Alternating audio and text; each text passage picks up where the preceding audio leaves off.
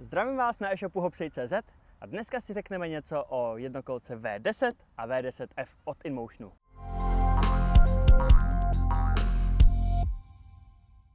Jednokolka V10 i V10F eh, mají tu výhodu, že nabízejí už výrazně vyšší výkon než eh, jejich mladší, menší sourozenec V8. V8 má 800 W, tady máme 1800 W, potažmo V10F má už 2000 W, což je sakra rozdíl. K čemu ty vaty vůbec potřebujeme?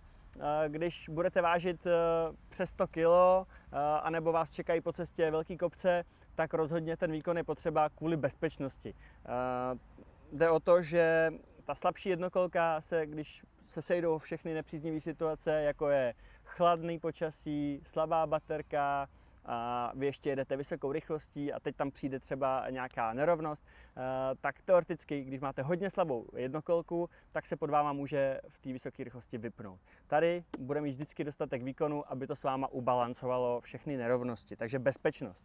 Eh, další eh, důvod, proč jít do V10 nebo V10F je to, pokud využijete tu vyšší rychlost, kterou nabízí 40 km hodině, už je slušná rychlost. Prosím, nejezděte bez helmy, protože nikdy nevíte, stejně jako na kole, co se stane, který řidič vás jak předjede.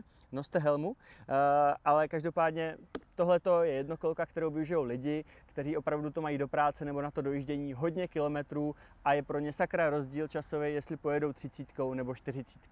Takže pak, když využijete tu rychlost, jděte do toho.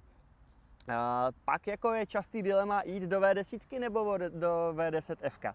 E, já osobně jsem zvolil V10, protože já nepotřebuju ten větší dojezd, já to používám spíš na takové ježdění do města e, nebo na nějaký kratší vzdálenosti e, a ten cenový rozdíl byl značný. Pak, když někdo ale ví, že bude potřebovat větší, větší dojezdy, anebo pak, když víte, že ten rozpočet pro vás není zase tak důležitý, jděte do výkonnějšího modelu.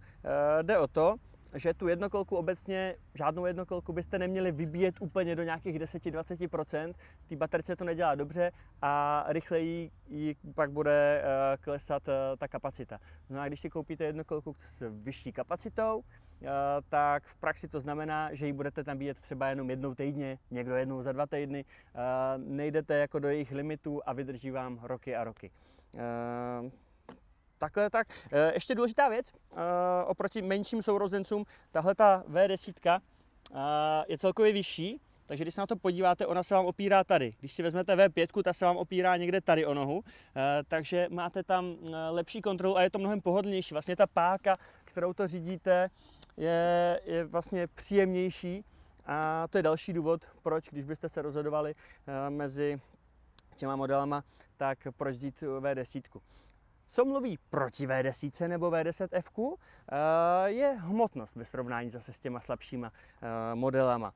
Jo, pakliže eh, jste hm, menšího vzrůstu, nebo byste to chtěli kupovat dětem, počítejte, že váha přes 20 kg nemusí být úplně příjemná pro lidi při představě, že to má nějaká hm, slečna tahat do třetího patra bez výtahu tak eh, by na ně asi zanevřela. Jo? Takže taky zvažte tohle při, eh, při tom výběru jednokolky, nejenom tu rychlost a vzdálenost, ale počítejte i s tím, že to budete někam muset vytáhnout.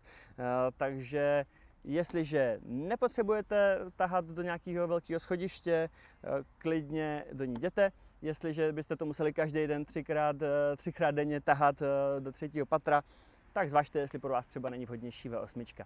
Jestli si budete chtít potěžkat nebo se na ní projet, stavte, stavte se k nám do hopsej.cz. Eh, případně, jestli se to chcete jenom naučit, tak eh, nabízíme lekce, eh, lekce zdarma, nejenom v Praze, ale i v dalších městech. Info najdete u nás na webu. Jestli se vám zalíbila, chcete ji kupovat, a najdete kdekoliv na internetu lepší cenu, dejte nám vědět, my tu cenu dorovnáme a možná i trumfneme. Eh, neváhejte se nám ozvat, budeme rádi, je to, náš, eh, je to naše odměna za to, eh, že se vám tohle video líbilo. Jestli se vám líbilo, dejte nám i like, odebírejte nás a věřím, že dřív nebo později vás oslovíme s dalším zajímavým videíčkem. Tak jo, domluvil jsem, přijďte se na ní podívat, přijďte si zajezdit, ať to frčí. Ahoj!